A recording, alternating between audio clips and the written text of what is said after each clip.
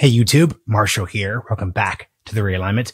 I'm continuing the series we've been putting together since December focused on the Pentagon and defense policy, how it works, what's broken, and what needs to change in order to face future threats. Today's guest in this series is Pete Newell. He was actually mentioned at the top of my episode of Steve Blank back in early December. He is the CEO of a accelerator that's focused on bringing innovations to the battlefield to the boardroom. I know there's so many different things we're going to talk to, acquisition, reform, all that great stuff and what lessons can be taken from the past 20 years. Hope you all enjoy this conversation and I will see you all next time.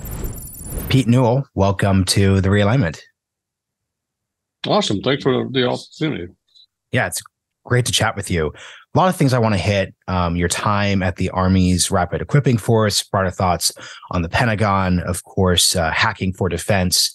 We had a great episode of Steve Blank earlier in the month, so this is a good follow up opportunity. Okay.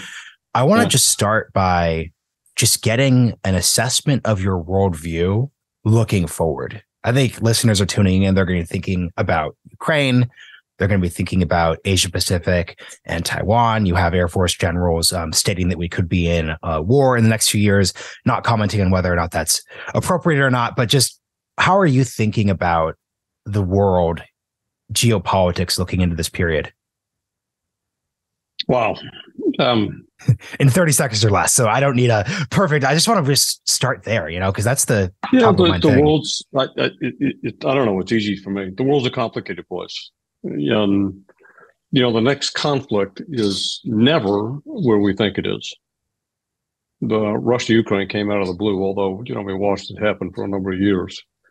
Uh, Iran Iraq War, uh, Afghanistan, you know, a lot of those things literally popped up where we were not necessarily paying attention. But it seems like increasingly minor state versus state issues are becoming more and more complex. Asia Pacific, uh, you know, I would just call it a powder keg.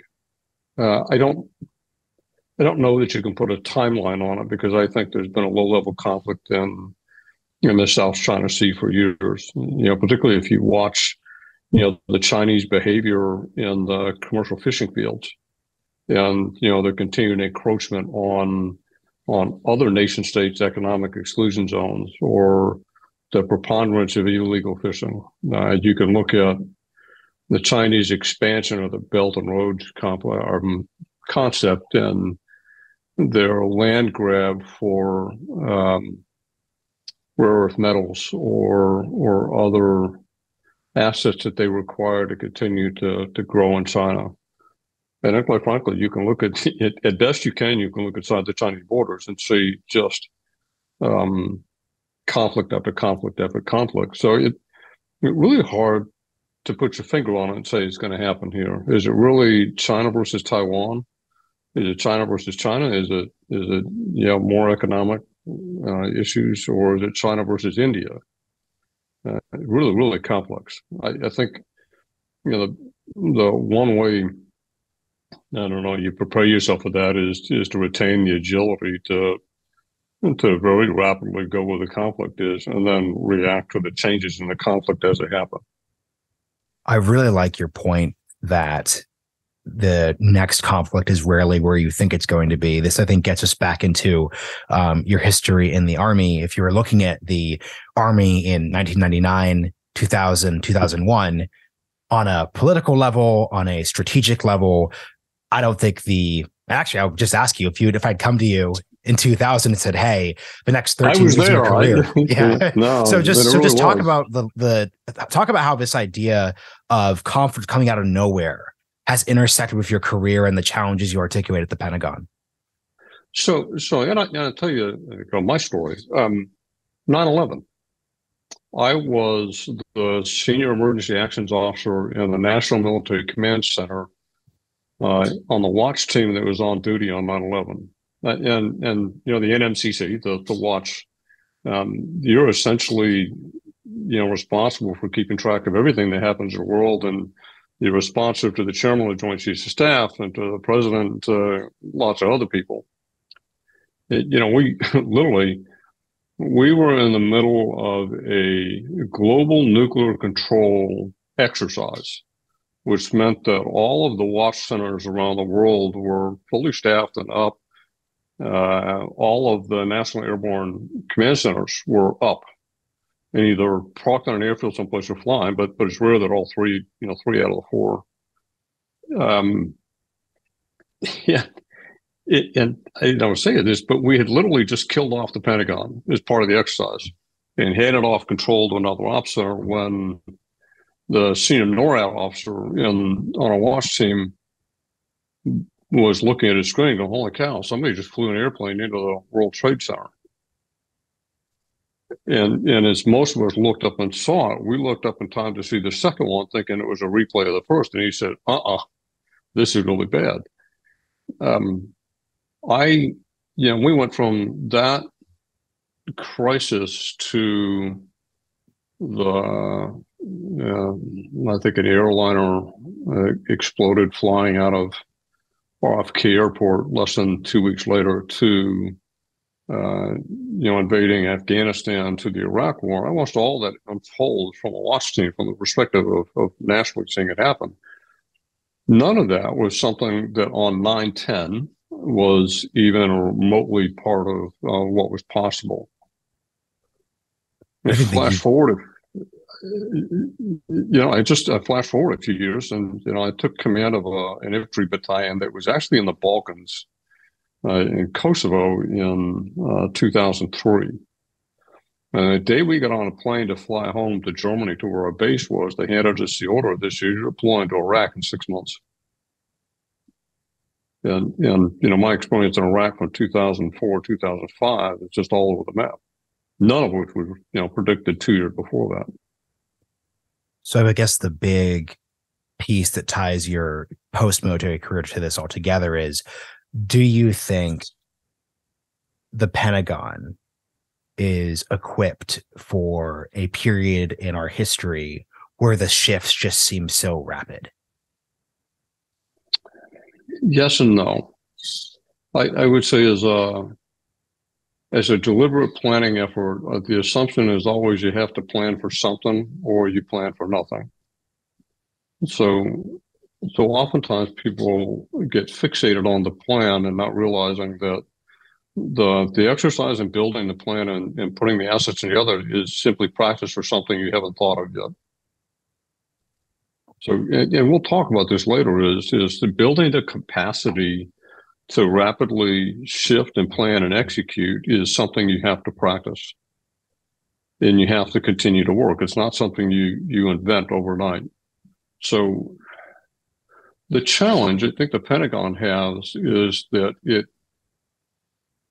you know, over the years, and starting with with McNamara's shift to efficiency, is that we have suddenly valued efficiency and the use of assets and resources over effectiveness, over their employment. Now, as soon as we get in a conflict, we, we very quickly decide effectiveness is a really big deal. Could you illustrate what efficiency means for a non-military centered person? Yeah, when I say efficiency, I mean it, it's just like any business out there. It is um, using the assets you are given and resources to um, uh, produce, you know, 120% of the effect with 80% of the resources, which means you're always under resourced for everything you need to do. So you become hyper efficient at, at putting those resources out there so that any divergence from from the rote and from you know, is is simply uh, considered wasteful effectiveness trades on efficiency and basically says, you know, I'll put the first best, fastest thing I can out there, uh, and I will trade speed for efficiency for efficiency and performance. But the fastest thing I can get out there is the best thing I can do, and then over time I'll improve the performance of the thing. Then over time I will um, improve the efficiency of, of what I was doing. And that, quite frankly, you know, was was the mantra at the Rapid Equipment Force. Speed first, performance and effectiveness came later. Yeah, that's a good opportunity for you to explain um, your your time and your and your role as the director of the Army's Rapid uh, Equipping Force. Yeah, I guess it's a great opportunity to say, you know, that job was an accident for me. I didn't see it coming. I was a brigade commander deployed to southern Iraq, uh, covering an area the size of the state of South Carolina with you know several hundred miles of the Iranian border, and you know I had a responsibility of, of first reducing the flow of uh, illicit people, weapons, money, influence from from Iran into Baghdad, and when when folks said you know it's time to to plan your next job, and, and for whatever reason you know, it wasn't available for all the jobs they offered. And the only thing left was the rapid equipment force. You know, I, I'm certainly not an acquisition officer. I knew nothing about money, um, knew nothing about the politics of money at DC. Not a scientist, not an engineer. I had been an infantryman for you know 25 some odd years. The the beauty of it was, as an infantryman, particularly somebody coming off the battlefield, I understood the problems that were on the battlefield. Now, REF, the Rapid Equipping Force, was beautifully designed by a guy named Bruce Jette, who eventually became uh, the acquisition senior acquisition official for the Army. Um, and it came about at the, the beginning of the Afghanistan war when, you know, at some point, the vice chief of staff of the Army, the number two guy in charge, had on his desk um, front page of a newspaper. Some people remember this, and it had this grizzled infantryman standing at the you know the entrance of a cave. I think it was up on the Tora complex, and and the vice was you know kind of thumping his chest and look how brave this are. You know we we fielded the greatest army in the world, and then Bruce Jette, uh, being plain spoken, looked at him and said, "Yep, that's the bravest army, but the dumbest." And, and of course, the four star general, you know, immediately started spinning and and finally asked him what he meant. And, and Bruce looked at him and said, you know, we should be calling this cage with robots by now. And there started some back and forth. I said, what do you think? I'm an idiot?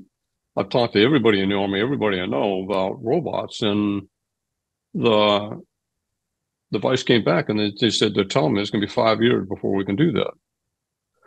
Bruce, being you know, Brother had a PhD in electrical engineering from MIT. He'd been a tank battalion commander. He's really an odd, odd person for the army. Looked at the device and said, "That's crap. I can do it in 90 days." He literally got booted out of the office and told, "Great, go do it, and come back in 90 days." So, so here's this colonel walking the halls of the Pentagon, no office, no budget, no people and and with now the mantra to report off back to a really pissed off four star general about how he's going to put robots on the battlefield. Long story short, he did it, uh, and actually did it very effectively. Uh, came back, and you know the reward for what he had done is is the vice chief of staff of the army gave him twelve million dollars, a couple of double wide trailers on Fort Belvoir, which is an army post south of Washington D.C and and allowed him to borrow people from the Pentagon to to now start solving problems like this more. When I got there, I think I was the fourth director of the Rapid Equipment Force. Um, by that time, it was a $120 million a year budget. Uh, there were 100 people and 12 double wide trailers. Still a temporary organization, very lean, very effective in the places that it was. Um, but you know, the Rapid Equipping Force was given the mandate of, of find issues and very quickly solve them with whatever technology you can put your hand on and report back what the problem was, what you did, and, and see if that's scalable. And you know, for a long time they did really well. And then at some point, eh, you know, I fault them. I, I came out of Iraq with a laundry list of problems, and the guy that I replaced, you know, opened this book up all these wonderful things they'd done in Iraq. And I looked at it, I said, You did nothing for me. At first, I never heard of you. So that's a problem. Uh, so I had a bit of a chip on my shoulder when I showed up. And what and, were some of those? Pro- what were some of those? Pro- so what? Actually, this is helpful. So what were the on paper folder problems that they identified, and what were the actual problems you were encountering in Iraq? So you know, at the time, the Rapid Equipping Force was based out of Baghdad, so they got a lot of the the Baghdad century problems. It's everything from you know small combat outposts with only a few people, unable to observe what's going on around it. So they built um, these you know CCTV cameras and, and kits and things that allow just a couple of people to monitor a wide area of things. The probably one of the most famous ones, the when they started using IR triggers or uh, thermal triggers to initiate improvised explosive device attacks on vehicles they came up with this long extension on the front of a Humvee that hung down that had a heat signature on the front of it. So you, you dropped it and you turned it on. And what that did is it pre-detonated an IED so it wouldn't hit the vehicle. It would actually detonate on the trigger. So they did a lot of improvised explosive device work to mm-hmm. counter those things as they rapidly change because you know the the Iranians and, and Al Qaeda and whoever were very good at, well, we'll change the type of material, or we'll change the trigger, or we'll change something else. So you're constantly in this battle when we talk about OODA loops is they would watch what we would do to react to something and come up with a new trigger. So while we were scaling the response to one thing, they were scaling a new thing. And, and every time it would just be horrific in the number of, of casualties we took. In my case, in southern Iraq, you know, I, I had the swamps, and I had the rivers, and I had you know large open areas and, and lots of open desert. So, you know, in many cases, I was worried about things like you know entry control points and borders and patrolling the rivers and patrolling the swamps. And and I didn't need MRAPs. I needed motorcycles. I needed canoes. I needed um, uh, what I would say is is airfoils, things things that were very different that that a heavy armor brigade would never touch. But the it just given the terrain I was in, if if I wanted to be as mobile as the smugglers bringing stuff across, I had to have the ability to do that. More so, I had to be able to, to the ability to equip uh, the Iraqi security forces with the same things, and they just weren't available to us at the time your your mention of OODA loops uh, means I have to get you to kind of explain like who John Boyd was and and why just like the John Boyd 1960s 1970s conversation is really relevant to the work you're doing today. So take it away.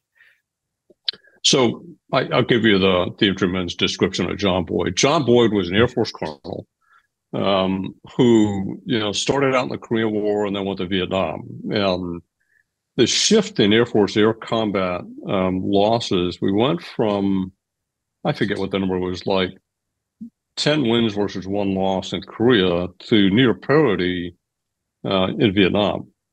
And, and, John Boyd studied the problem, studied the problem, and he came back. And eventually, what, what John Boyd is most famous for is the description of the OODA loop. And OODA loop is simply a, an acronym for um, observe, orient, decide, and act.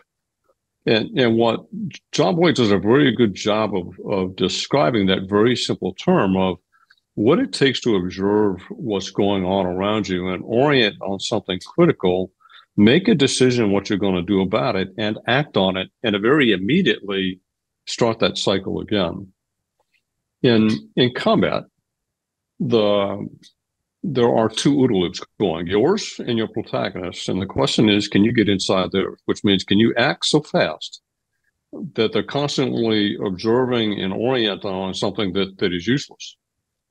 When you look at the the the improvised explosive device battle of how fast people were changing the way they were building things and how fast they were training the triggers versus how quick or not quick, we were deploying solutions to that and changing our tactics. We were fairly um, behind the OODA loop always. Rarely were we ahead of the the Al Qaeda or the Taliban or or anybody else in terms of how quickly they were changing things. So so when you talk about OODA loops, it, it's the comparison of yours versus your protagonist, and the goal is to be able to break a protagonist loop which means get inside it, turn so fast that they, they simply can't respond coherently to what you're doing. And a quick uh, follow up there. I'm wondering, and this relates to your writing about Ukraine, is there an inherent advantage that a insurgent, nimbler, smaller, resource constrained force is going to have when it comes to that OODA loop process versus a big one. So obviously this would be, um, you know, the Iranian National Guard, Revolutionary Guard and Al Qaeda in Iraq, and then you know the Taliban in Afghanistan, and of course uh, the the Ukrainians against like the Russian military. Should we think about it that way?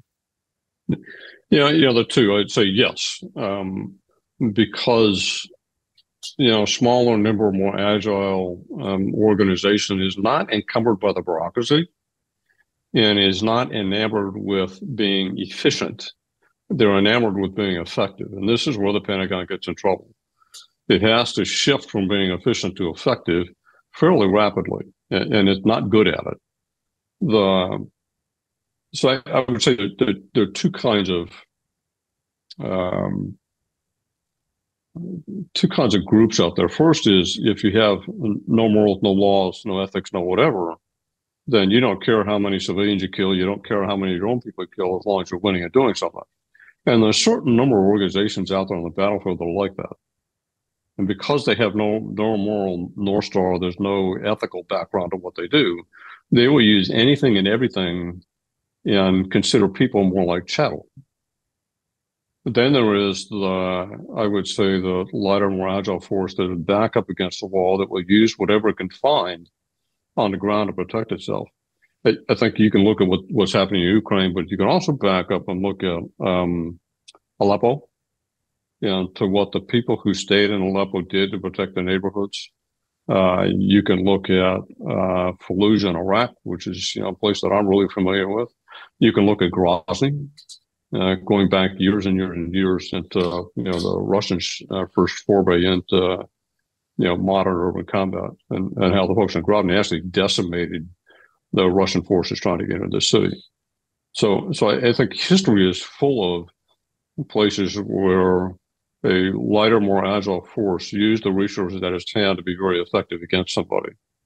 Now, making that permanent as a part of your permanent psyche when you're not in conflict is really hard. And for the most part, the Pentagon has not been good at um, maintaining that capacity.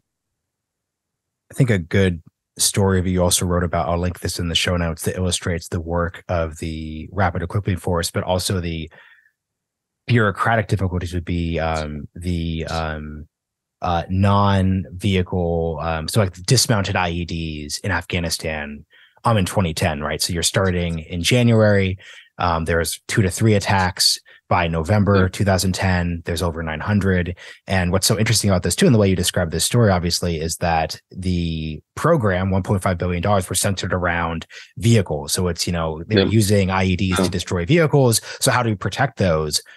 But it's entirely different from like if you're dismounted infantry walking around um, on a back road. So talk about this issue and how you and the Rapid Equipping Force kind of like struggled and learned from it. So you know, you know, back to talk about the MRAPs, the mine uh, resistant ambush protected vehicles. So the MRAP program, you know, was an extension of the battlefield in Iraq, where you know, we were trying to be mobile on the highways and roads in Iraq, and and eventually settled on this South African design for for vehicles, and they built a program. And they rapidly expanded to build thousands and thousands of things. And it's it's kind of like World War II esque, where moved pretty fast. It mm-hmm. happened in a matter of years, and they did it. And and by all history, we look at that and say that's that's rapid, and we're good at it, and we can do it. And until we went to Afghanistan, and, and in 2010, 2011 is when the president of the United States acknowledged we're losing the battle in Afghanistan, and he sent 20,000 um, infantrymen to reinforce it. We sent 20,000 light infantrymen, and and despite the fact the MRAP program was hugely successful, uh, those light infantrymen weren't driving around on the highways. They were walking down donkey paths. And the Taliban and Al Qaeda recognized the opportunity to not have to blow up big vehicles, but they could go after the dismounted infantrymen. So, so as you know, as you um, acknowledged in the charts, you start seeing. I think the first spike was in the the spring of 2010 when the Marines entered Helmand Valley, which was largely a light infantry fight. And you saw the first spike to, you know, from one or two of these types of attacks a month to maybe 10. by the time I got to Afghanistan in my first visit as the REF director, we were up around 800. And that very quickly, you know, accelerated the 900 plus attacks a month against um, light infantrymen who, quite frankly, still using the same equipment they've been given in Vietnam. So, you know, over the course of the, the discussion, and, you know, I found a couple of things that really disturbed me. One was that REF had slowly migrated its headquarters to sitting next to the, the bigger division headquarters where they were talking to the generals and people, and that's where they were getting their priorities and doing things. And no longer were they present at the forward edge of the battlefield where things were changing. So, so they had slowly over time become less an observer of what was going on and predicting what the next issue would be, and more just a response mechanism to whatever people told them to do. And which made them essentially part of the bureaucracy. They were responding to other people's priorities what I found wandering around the battlefield talking to, you know, my peers, people that I had grown up in the military with who were now commanding units was uh, the speed of change of the issues they were dealing with was faster than the speed of the paperwork that was reporting stuff up through multiple headquarters to what the priorities were.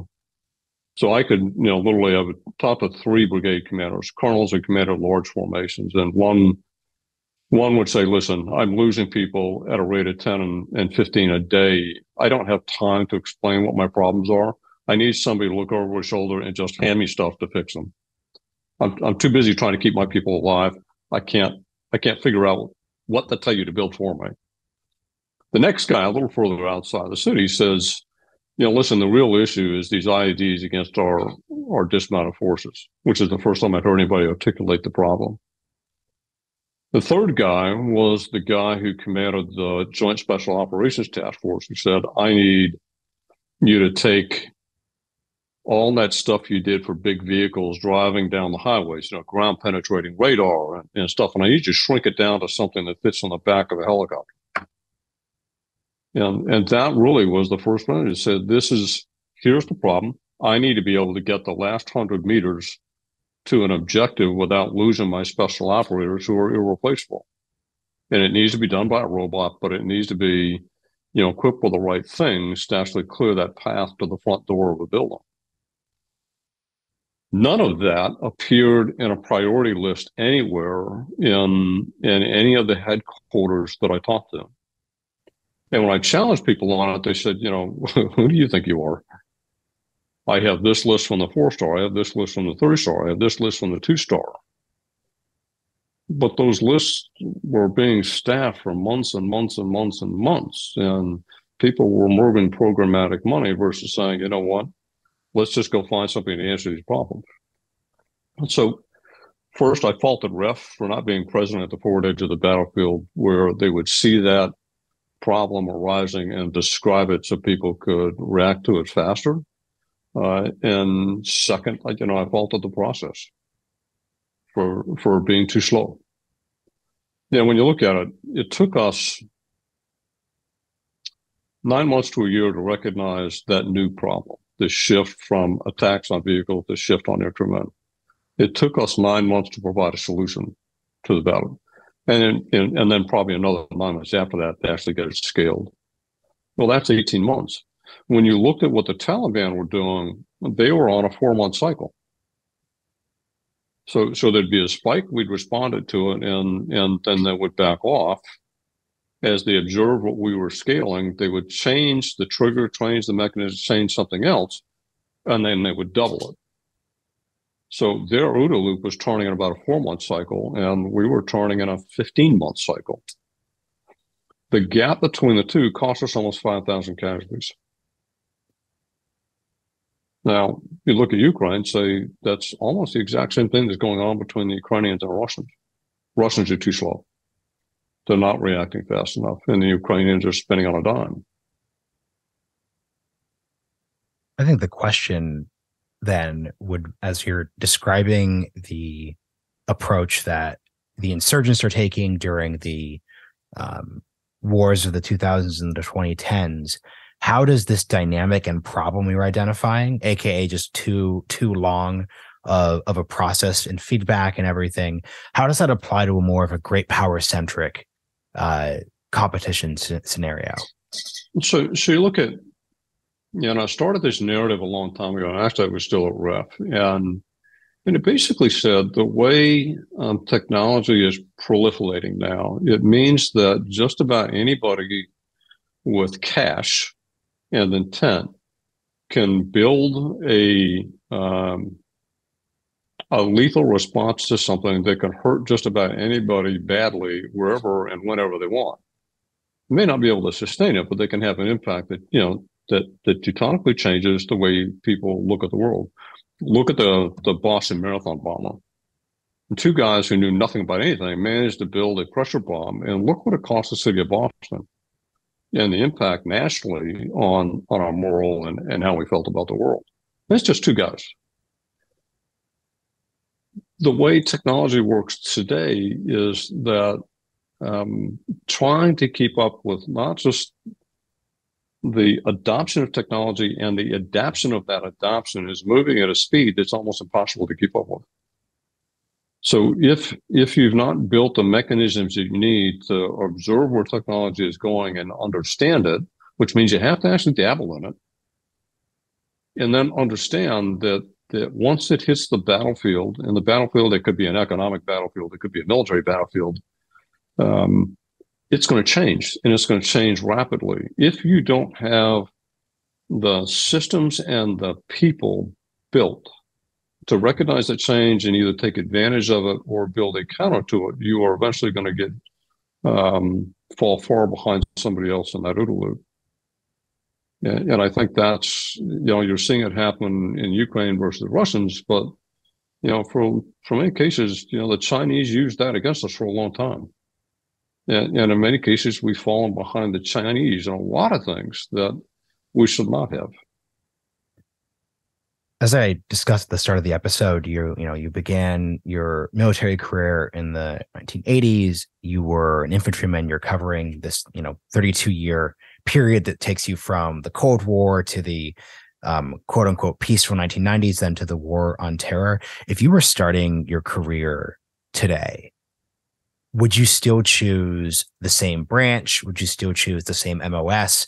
Because obviously, a, a Cold War that's centered around what happens in Germany, that's obviously going to be one where the army, infantry, armor, et cetera, et cetera, are going to be particularly prominent. If we're talking about an Asian powder keg, you know, there's a reason why the Marine Corps has dumped their tanks. Um, that's a branch that's re envisioning itself.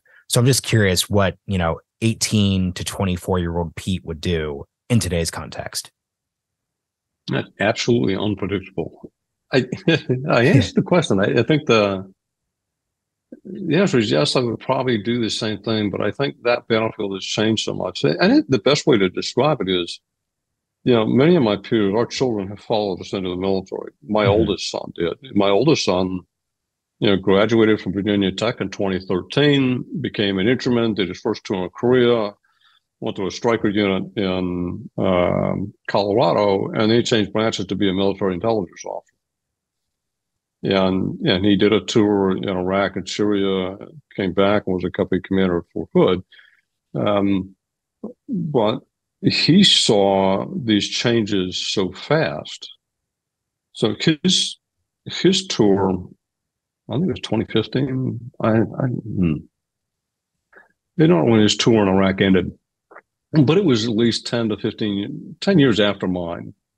It was so dynamically different and and when he got out, he went to work for an AI company. now he's building solutions that the Navy is putting to use with the unmanned task force for you know some wildly different things. And so I watch his pattern of development over time versus mine, and and I would say that there there needs to be as we're recruiting what I would say a class of entrepreneurs people with entrepreneurial backgrounds and spirit in virtually every MOS or classification of the military. So I think it's less about the branch than about the collection of people who understand the concept of mission acceleration. How do I quickly identify problems that are emerging using a lot of tools to quickly understand those those problems and the potential off the shelf solutions, whether they come from the military or they come from the commercial world, and how they can be banded together and applied to help us better understand the problem. And then how do we rapidly build um, operating concepts around that technology and the problem and very quickly solve it? Or continue to solve it over time. I, I think that's it's a skill set that is not incubated and kept inside the military. And you know, the best example I can look at is I, am a class act. I never belonged in the REF. I never would have imagined. I would never have signed up to be the director of Rapid Equipping Force. But I is that you, is that is that a combination of your personal interest and like possible career advancement? Like how I do was you? a battlefield yeah. commander. Yeah, I you know I'm the warrior. I'm a warrior. I command large groups of people and maneuver and fight the battles. Yeah, and you you know my trajectory as a paratrooper to you know a young captain in the Ranger Regiment to my time as a battlefield commander, as as a battalion commander, and as a brigade commander. I was destined to be a general doing the same thing. And then somebody slapped me into the rapid equipping force. Then I realized that I was gifted at, at doing what I was doing there, and there was no job description for it. So at some point, when the Army said, "Hey, you know, you did a great job there. We're going to send you someplace else," I said, "No." and when they said, "No, we really mean it," I said, "Yeah, so did I." And eventually, we realized that I was addicted to what I was doing at REF, and and that's what brought about my retirement because I realized the Army would never let me continue to do that job, but that's the job that I wanted for my life. Um, most of the people like me whether it's the Defense Innovation Unit, um, AFWERX, NavalX, uh, Army Applications Lab, even the people at REF, all of them are gone. You realize that that there's no former director of the Defense Innovation Unit still in service. Same for AFWERX, same for NavalX, same for the REF. We all left service at the end of the jobs because there was no place left for us to go. So, so I come back to your original question: Would I do the same thing? The answer is yes, but. Mm-hmm. I think the you know my experience in the in the Ranger Regiment, um, both at the time and and with them later on, was probably the epitome of, of the future because you're constantly driving for a new solution to things. You didn't let the the system get in the way of what you were learning, and the very rapid application of new ideas to to get around a problem and I think that that's more the class of people we need in the military in the future than than we've actually had in the past. The challenge with the military is that they're going to have to learn um, first how to provide those experiences so you can identify the innovators and the entrepreneurs, and and second, they're going to have to create a doctrine around that. There's no doctrine for for being an entrepreneur in the military the idea of mission acceleration that I described at REF is not imbued in any doctrine anywhere else. Therefore, it's not funded. It's not resourced. There's no Can you explain the role? for it. Can you explain the role of doctrine in the military? Like, why why is you doctrine know, important? Yeah. So doctrine drives.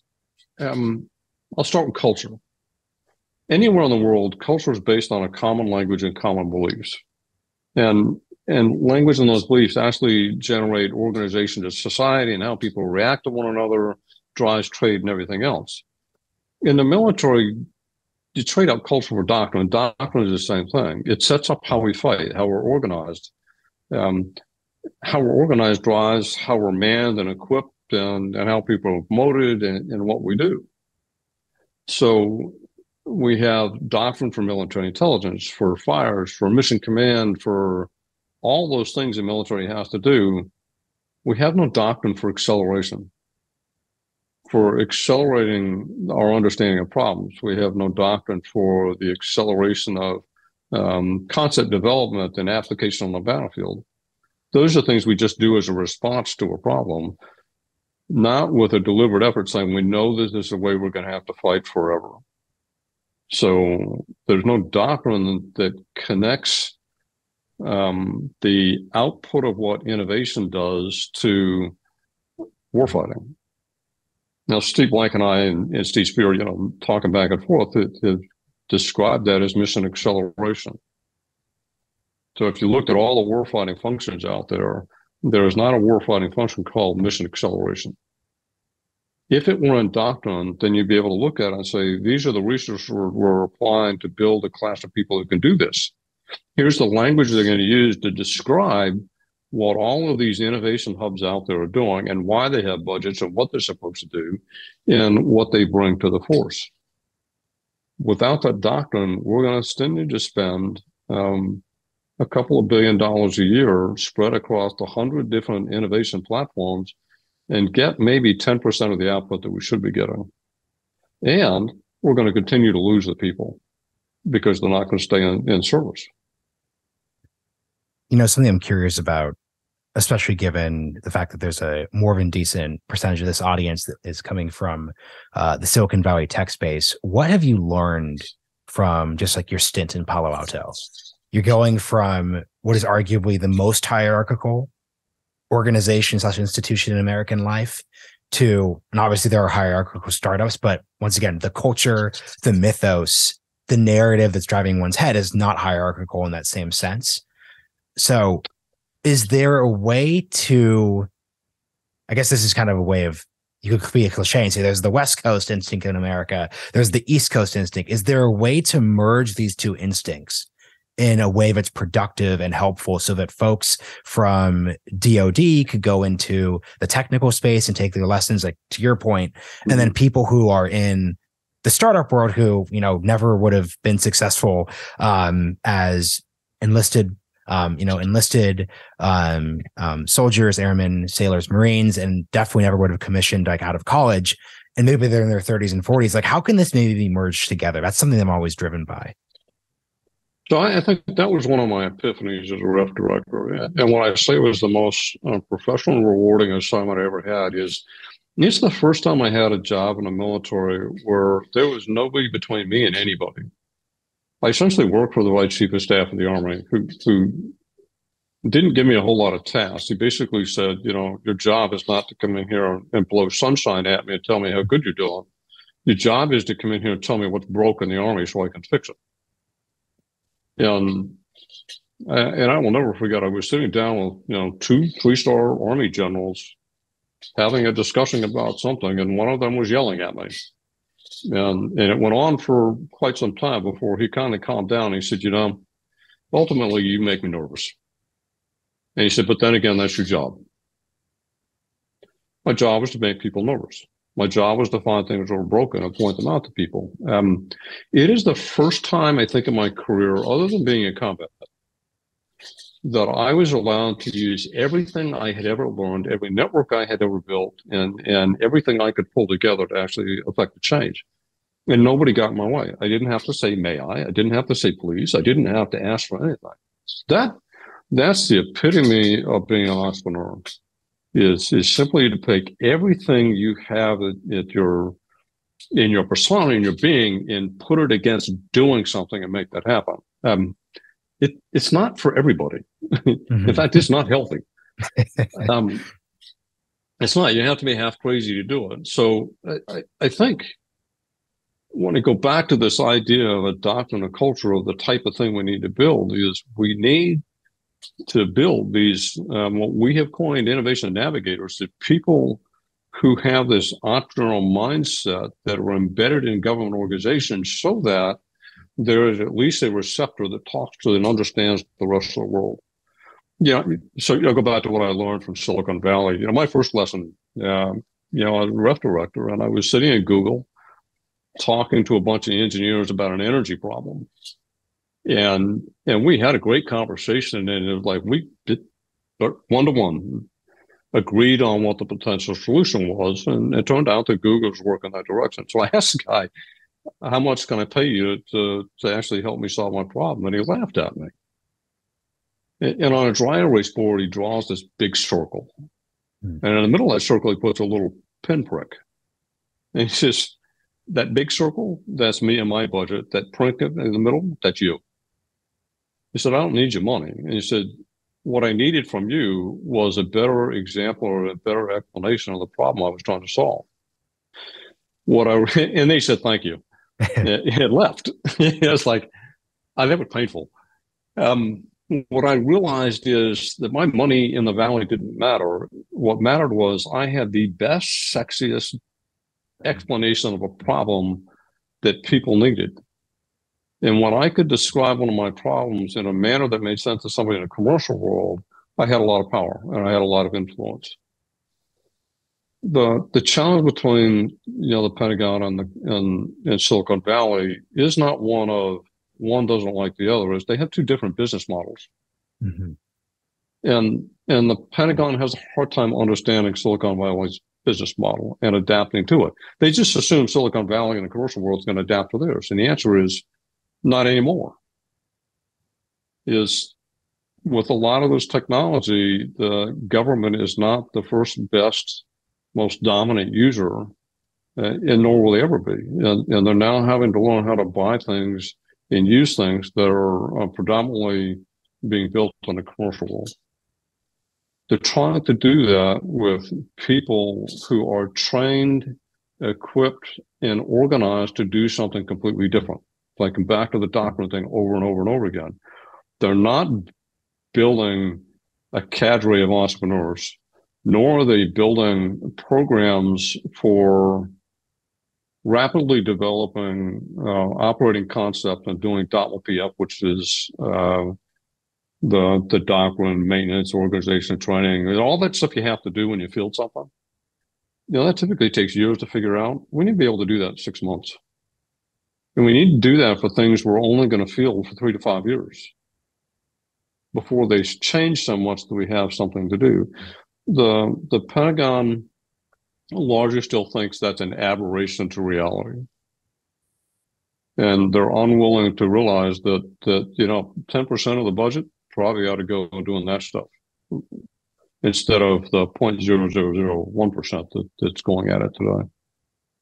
I guess what I'm kind of wondering when you refer to the, and I think this is something that's helpful for civilians such as myself who are conducting the conversation but also listening, is you just referred to the Pentagon as if the Pentagon is this singular, the singular thing. But the Pentagon obviously is an organization, and organizations are composed of people. So at this point in the game, the Pentagon is led by folks who came up during the wars in Iraq and Afghanistan. So these are folks who I think, from my perspective, would have seen how a the process you just described is so essential they would have seen and viscerally experienced the need for this entrepreneurial aggressive approach. So why does that happen organizationally right? Like why why are we telling there's a version of this podcast if that were the format that we could have done in 1999 and you may have offered the same critique. Why would mm-hmm. the experiences in iraq and afghanistan not been enough to change that broad critique? Because you know at the end of the day the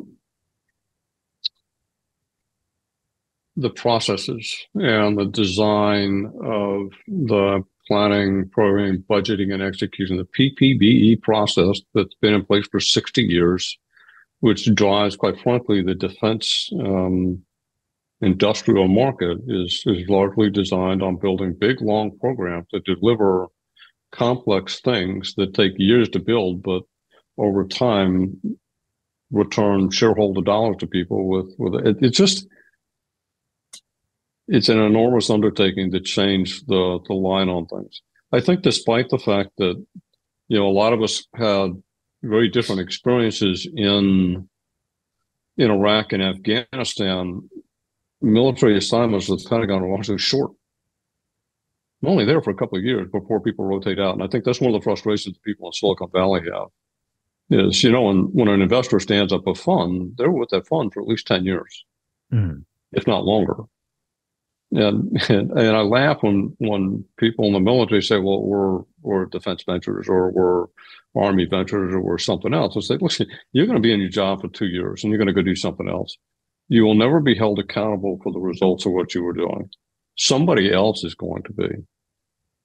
Yeah, which means there's little consistency of change other than what was blueprinted before, because everybody comes in and says, I'm going to change something. By the time they figure out what they're supposed to change and actually start to make the change, they're headed for a new job. And then the next person comes in and starts all over again. So, so from a, uh, a change standpoint, there's no consistency to it over time. So it takes forever to actually see that that change happen.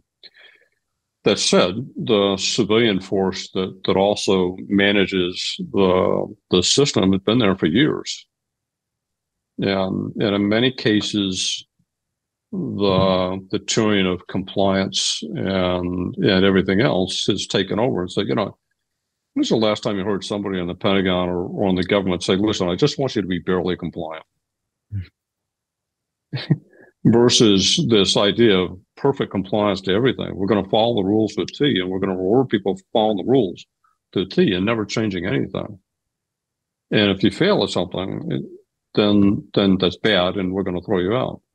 Silicon Valley says we're going to celebrate the rule breakers and the and the guy and the folks who fail because they're the ones that are learning the faster fastest and, and they're actually doing something. So it, you have this culture change between the two it's a paradigm that's really hard to break. And I think that's that's why oftentimes we're you know, we had the same problem when we taught jointness back, you know, after Grenada and went through the, the Packard Commission and lots of congressional studies that eventually went to the Goldwater Nichols Act that forced the military to become more joint. Know, we're probably at the same point where the Pentagon's not going to change itself it's going to take congressional action to force something different to happen.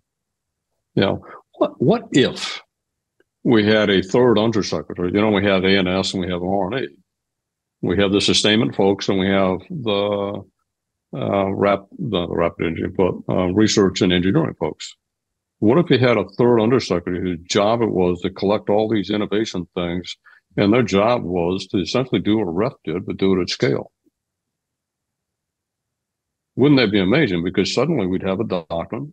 Uh, we'd have different rules for different people. We'd have the ability to rapidly um, harness uh, the innovation ecosystem in a commercial world to deliver capabilities at speed and scale uh, for the next conflict, regardless of where the conflict is. I'm curious, as you know, we're nearing the end here. Do you have a do you have a theory of change when it comes to something like that? So, for example, it's easy to say, oh, well, Congress is Congress and Congress is never going to do that. But once again, Goldwater Nichols is a, you know, like that's a, that's Congress doing something.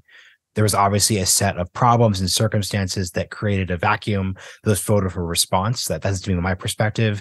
Things are addressed when there's a vacuum to be filled and there's incentive to fill that vacuum.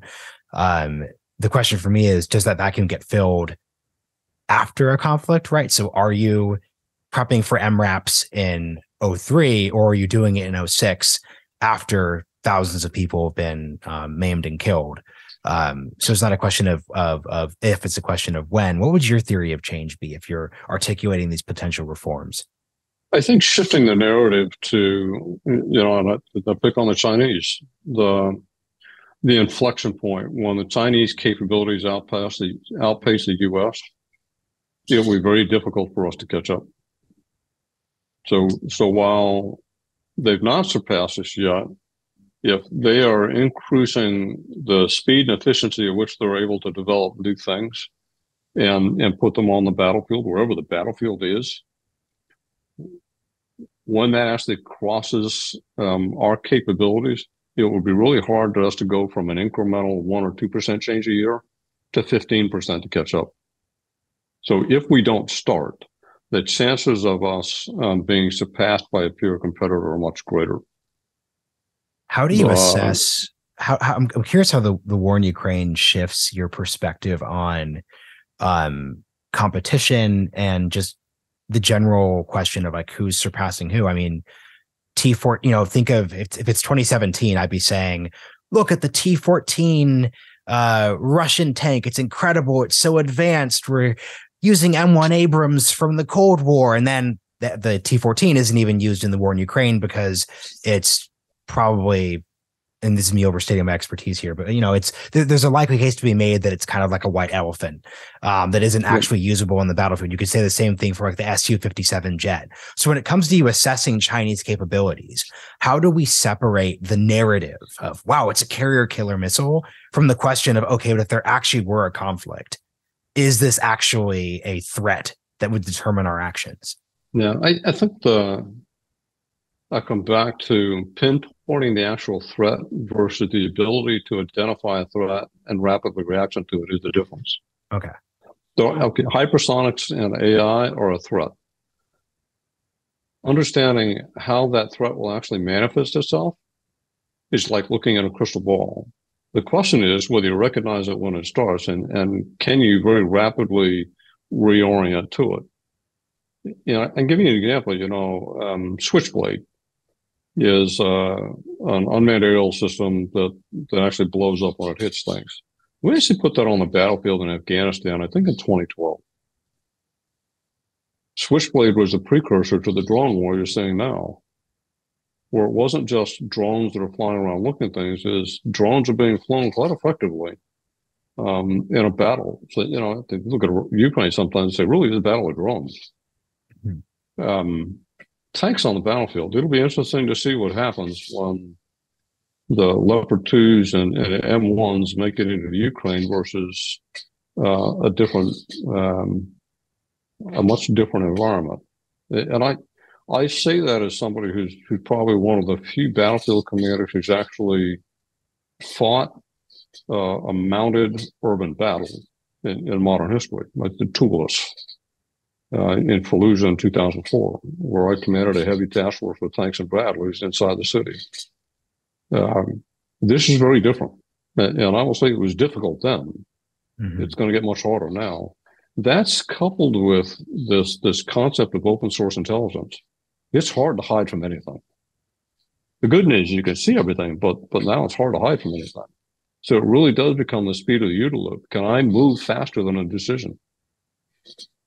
So I, and that's not just a, I don't say that to avoid your question. I think the, again, it is going to come down to the speed of our ability to recognize something has changed dramatically in a conflict whether it's on the battlefield or whether it's economics or something else, the speed of our ability to articulate that in a manner that people can understand, the speed of our ability to rapidly assemble groups of people. Think the Manhattan Project, how fast that came together, and then how fast we can actually produce uh, a first best, most adequate solution and put it back out into the conflict to determine whether or not we even understood the problem to begin with, and to determine the, I call it the half life of the problem.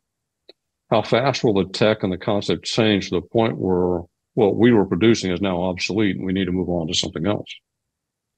That's, that's the missing link is to do that intentfully and to tie everything together, that's the key to the um, dismounted IED story in Afghanistan. Because the key there is you're identifying that we thought the problem were vehicle centric IEDs. Actually, the actual problem is that they're affecting dismounted infantry. So the speed at which we can identify, address, and then deal with that problem is a, is a good way to think about this. So just to just to close, Pete, this has been this has been very helpful, especially looking um, from the outside, uh, more from from the tech side of things. Is just to close, like what would you suggest interested um, younger folks should look into? So like. 30 somethings probably specifically in either like Pentagon, military, tech, who are interested in this topic area?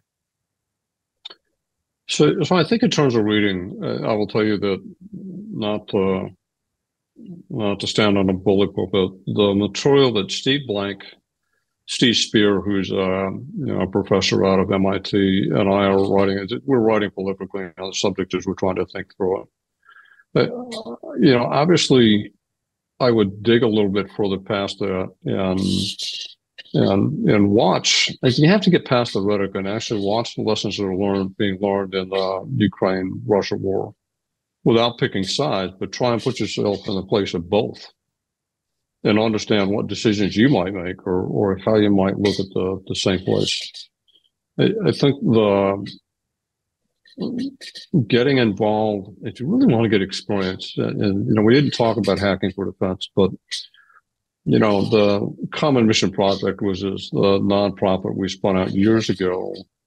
Um, has built this beautiful program of a you know graduate and undergraduate level course at universities that allow uh, students to take on real emerging uh, problems, whether it's in military, diplomacy, climate, or something like that, and build teams as if they're entrepreneurs trying to solve a problem and do something. The students are one thing, but actually mentoring and advising those students through the process of learning what it's like to be an entrepreneur and actually try and discover this process is has been amazing for everybody who's ever touched it. So, you know, it's one of those things that that if if you know your alma mater offers the course or you're close to the university does that, I think get involved. Get back into the classroom where the students are and they're doing this really great work and, and gain some experience from it. Well said. Pete, thank you for joining me on the realignment. And folks who've enjoyed this conversation, I suggest you check back and listen to the episode of Steve Blank if you have not done so already. Awesome. Thank you.